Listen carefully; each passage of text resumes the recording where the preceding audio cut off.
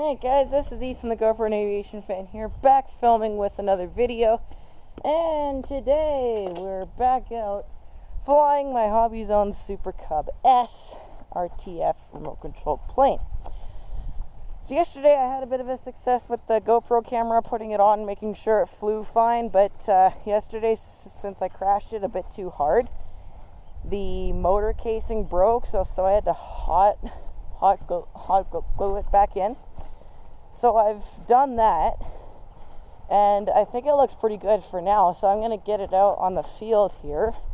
So that's the field that backs that my house backs onto. So it's pretty nice, and yeah, I just got a GoPro on on the plane, so it's a little windy right now, but I'm gonna try and get it up and flying. So I just got to settle up the battery here, and I'll continue recording when it's ready.